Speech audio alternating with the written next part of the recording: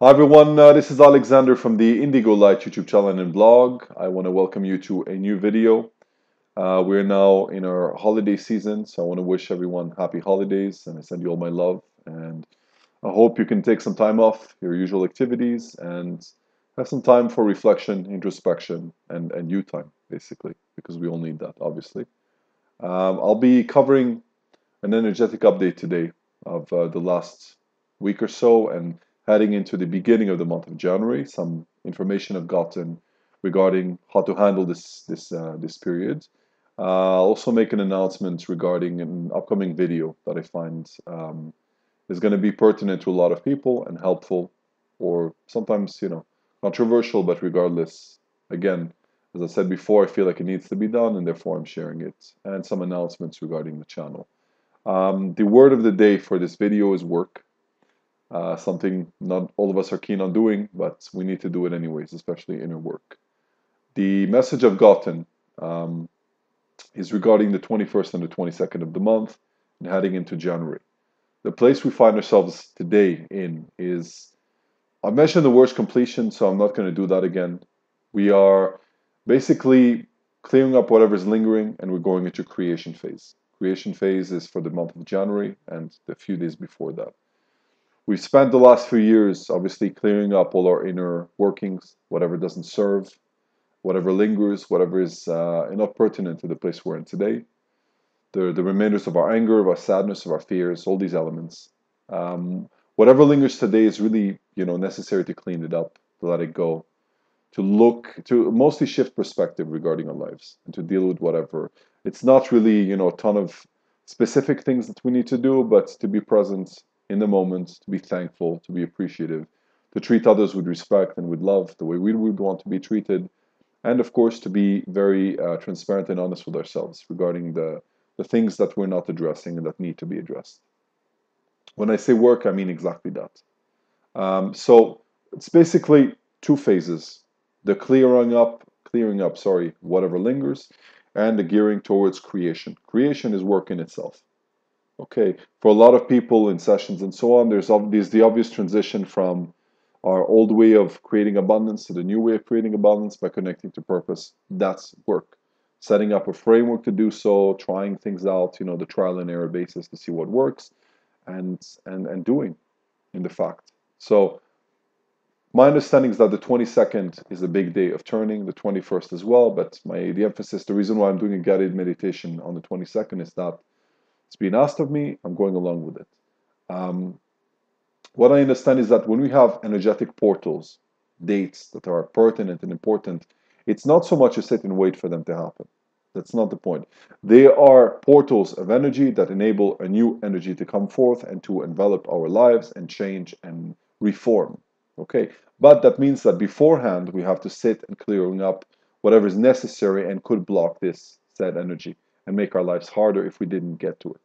Okay, these this is what the next few days. Today is the 17th, the 17th until the 22nd. You have five days or so in order to gear yourself, look at what needs to be changed, and um, be present and um, accept in acceptance of this new energy, and let it settle. Okay, not to sit and wonder, you know, what will happen and will not happen, and make it a bigger deal than it is. All of these things, again, our secondary features of our ascension. There's always going to be another date, there's always going to be another event. None of it is the beginning, none of it is the end. When it's over, you'll know, when you're ready to flourish. My understanding that has been conveyed again and again through videos and my guidance to me is um, the importance of the month of January 2019 uh, as a creation month. Okay, I do see it from my own journey in terms of kind of the the pieces of the puzzles lining up, but that's only my journey and even though we're all on the same journey, we all have, are different steps, you know, of our our common collective awakening. Okay, um, but there is a very strong element there. On a personal note, and I try to speak from experience because that's what I have to speak from. Um, I do see really the facing of the biggest difficulties that I've had in my 35 years, the biggest wounds going back to the beginning, some real powerful stuff, especially the last two three days. Uh, a lot of fatigue and difficulty sleeping at night. Okay, mostly from nervous energies that kind of go through the body, and of course, trying to to be present, to be calm, to drink a lot of water, to meditate not for the sake of meditation, just to calm my body down, the, you know, lower your cortisol level, oxygenate, and so on. Um, this is the, the period that we're in. So it's mostly to be aware, to be present, not to judge yourself at all, and to do the work that is necessary, both for getting yourself out of a predicament that doesn't work anymore and creating something new. You need to do the work. There are always going to be steps to be done. Okay, if you're building a new uh, platform to be able to help others, you need to, you know, perhaps create a website. You need to create, I don't know, create business cards or any of those kind of, you know, physical uh, steps that we need to take that are sometimes mundane, but they need to be taken anyways. Um, that's just a very small example from what I'm seeing lately. One thing I will mention is that the universe works on a reciprocity basis. So there is the need to take physical steps in order for the universe to come and, and you know reciprocate. If we sit in stagnation and we wait for things to happen, nothing happens. The universe does not see inertia, therefore it does not feel the need to reciprocate by inertia. This is not manifestation in the sense that I'm visualizing and things happen. It's the sense that I'm creating. Okay. So if I want to go and do something, I make I personally on on in my, in my own life, I have lists of accountability. I have my daily tasks, my weekly tasks, and my monthly tasks for spiritual work, my inner work, and for you know accountability towards indigo light and whatever I'm trying to do. And I, I try to be as accountable and and and uh, as dedicated to fulfilling these tasks as I possibly can. And it goes on over my life as a person. I'm not the most organized person, therefore I do feel the need for lists and accountability um, because it makes it easier for me to know what I have to do on any given day. But I feel like if we want to get out of a predicament and we say, what shall I do? It's nice to take a piece of paper, a pad, and start writing down ideas, making you know a diagram of how we get ourselves out of our predicament and how we start to create. Okay. And of course, on a pragmatic basis, this is everything I'm, I'm always trying to convey. Uh, it's not what I've gotten emails over called the fluff of the, you know, of uh, this uh, what do we call it? This domain and, and, all the things that are happening outward and that may or may not be reflective of you about the inner journey and the physical steps that we need to take in order to make things happen okay? Which are 99% of the work okay? If i do 100 sessions on myself and then i sit and i wait for miracles to happen nothing's going to happen. I am not embodying my role as a creator on this planet okay? That's what i wanted to touch on. So introspection awareness of self, seeing how things make us feel if we get in situations. What I'm saying is that the things that linger, they are coming to the surface, whether you like it or not. So try to spot them in your surroundings, try to spot them within yourselves. Try to spot the the reaction of your heart chakra, the reaction of your throat chakra, the reaction of your third eye to situations. Are you getting defensive? Are you getting upset, angry, anything like that? Even if it's a, a small, an iota of an emotion. Talk to this emotion, get you know to work, clearing this stuff out. If it's kind of waking you up, it's because it doesn't want to be there, as I've said before, um, and clear it out, and then gear yourself towards creation. If you don't know what you want to create, that's creation in itself. It's work as well. Okay, uh, we've all done the pros and cons list. We've all done, you know, there are meditations that I've tried to do also with clients where you put different opportunities in front of you, and when you meditate, you try to feel from your heart which one lights up, which one stands out more. Okay, but again, it starts from your own journey. So there is work to be done. And I, I believe that the month of January 2019 um, can be, if you want it to be, of course, and if you're willing to do the work and, and not be complacent and really be dedicated and be accountable to yourself, to your tasks, to your journey, to your purpose, and to the people that will need you and do need you, it can be the beginning of a new phase in your life. And I mean that in its entirety. Okay. That's what I wanted to touch on.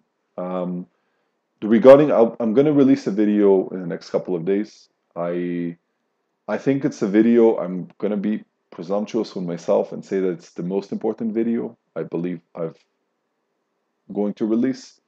Um, I'll be talking about motivation. I'll be talking about the inner workings, what I believe we need to be aware of when we look at the inner workings of what makes us tick. Okay. The reason why I'm saying this is this. Um, if we talk about January as a new portal into a, uh, sorry, a gateway into a new paradigm, where we start to create, and we're not really allowed to take our own baggage because it, we don't need it, you know, it doesn't serve. when you move to a new house, you get rid of a lot of stuff and you try to, you know, um, later on get new stuff that really resonates with you more. Okay, it's the same kind of thing.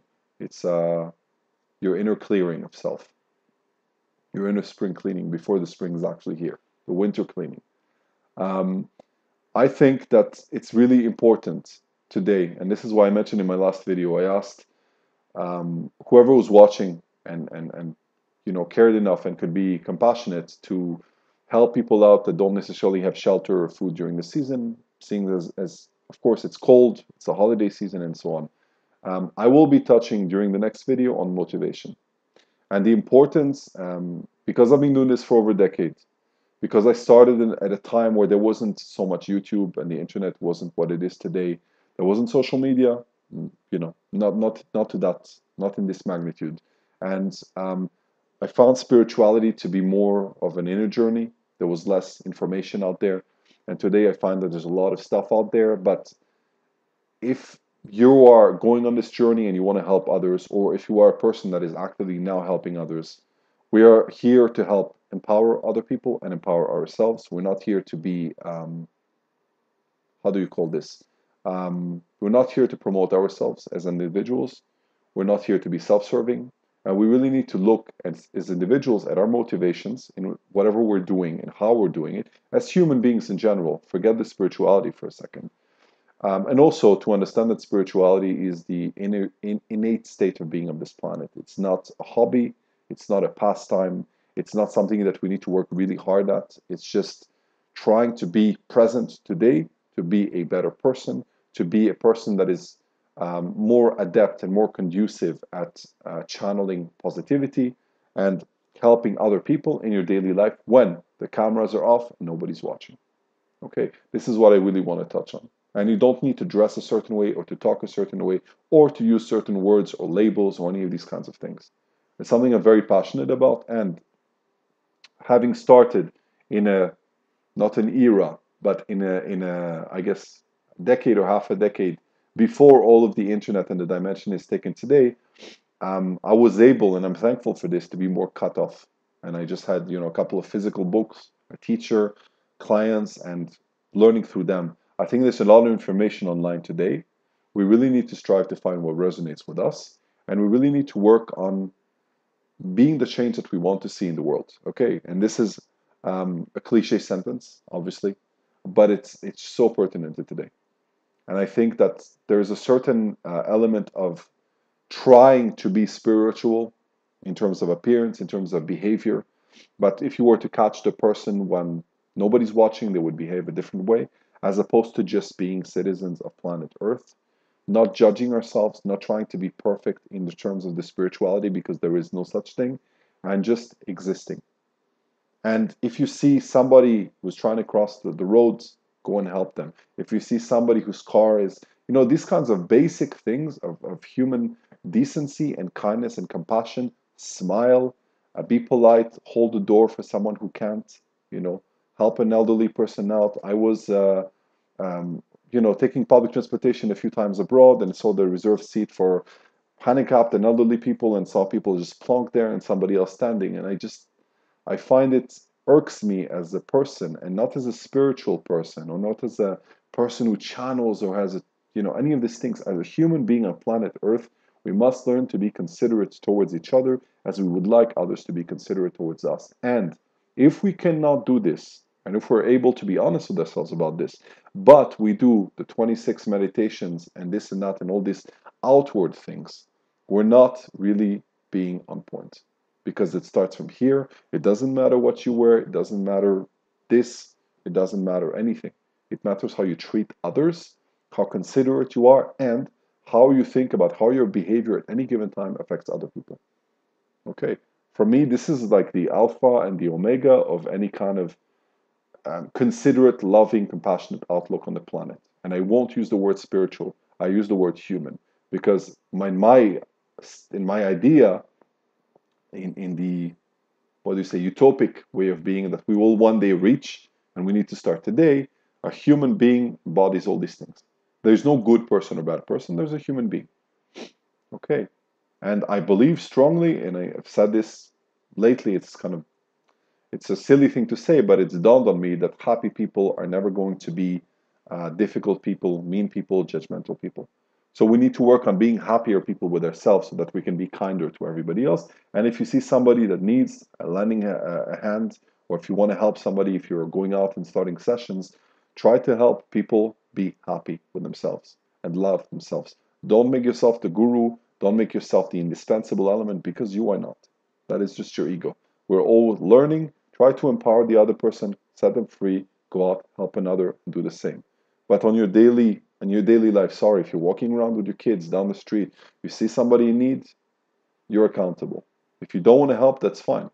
But try to think about what that means about you and your inner motivations. If you see that and you pretend you ignore it, but then try to, you know, act in a spiritual manner, in something that you deem spiritual, which it may or may not be spiritual. Okay.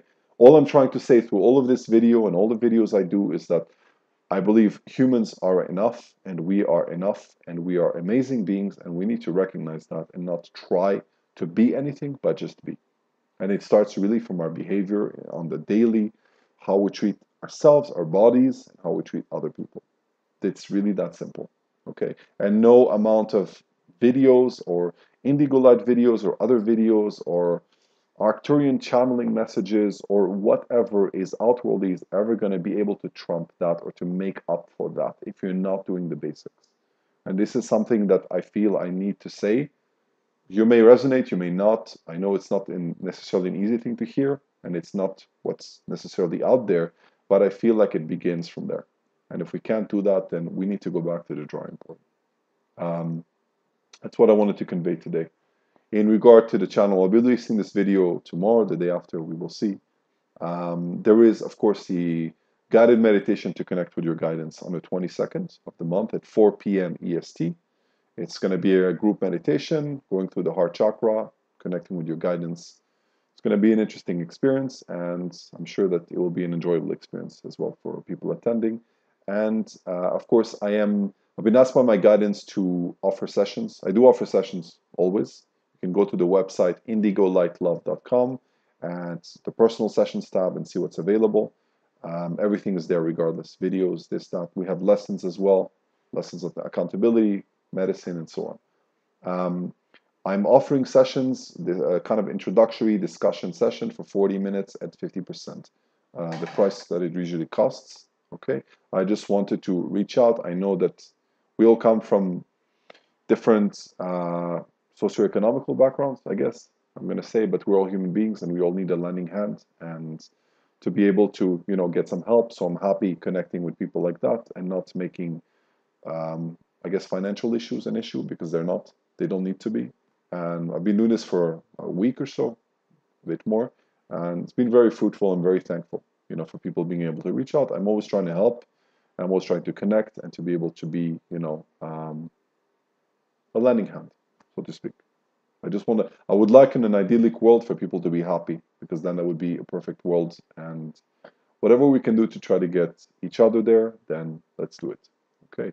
That's what I wanted to share. I send you my love. You can reach out by email at indigolight2222 at gmail.com. Touch base regarding the video. You have comments and everything, of course, is going to be in the description on the Indigo Light channel. If you're on higher self, I invite you to go to the Indigo Light channel and subscribe and uh, click on the subscribe button.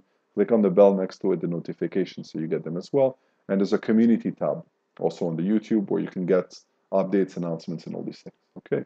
I send you my love. I wish you all.